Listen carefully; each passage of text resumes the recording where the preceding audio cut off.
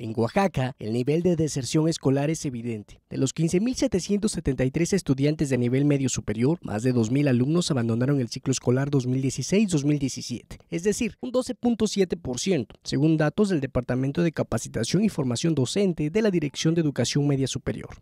Pero además, el porcentaje de reprobación para el mismo ciclo escolar es de 10.5%, más de 3 puntos porcentuales menor que el registrado a nivel nacional. La eficiencia terminal en el estado es de 67.1%, es decir, de cada 100 alumnos que ingresan al primer año de educación media superior, 67 egresan. A nivel nacional es ligeramente menor, siendo 66.6%.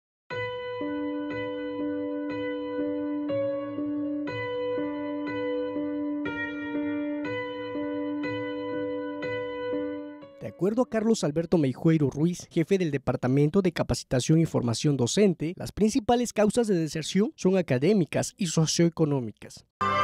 Sobre todo porque la deserción va muy de la mano con la toma de decisiones que los jóvenes tienen para continuar sus estudios. Muchas veces toman decisiones de continuar estudios en bachilleratos o en, instituciones de educación superior que no satisfacen sus proyectos de vida. Esto los lleva a que eh, abandonen eh, su ciclo escolar uno de los principales factores muchas veces es que los jóvenes no, eh, toman, no toman la mejor decisión sobre, las instituciones educativas que existen. Además, a veces también influyen factores este, económicos, eh, e influyen también eh, a veces que tienen, quieren irse al área laboral y ya no continuar los estudios. Y es que según los datos proporcionados por este departamento, Oaxaca cuenta con 710 planteles pertenecientes a 17 subsistemas que conforman la educación media superior, distribuidos en las ocho regiones, los cuales absorbieron en el ciclo escolar 2016-2017 al 89.6% de los egresados de nivel básico. Es importante que instituciones, gobierno y padres de familia alienten a los jóvenes a fin de que las barreras, sobre todo económicas, no sean un impedimento para que los estudiantes oaxaqueños continúen con su preparación académica. Mira, tenemos este, un gran índice de abandono y de deserción escolar en el nivel medio superior.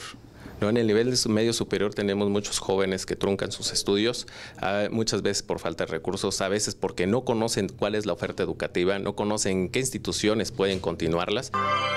Además, para que Oaxaca salga de ese rezago educativo y se erradique la deserción escolar, es necesario impulsar otros modelos educativos, con profesores más capacitados y entregados al quehacer educativo.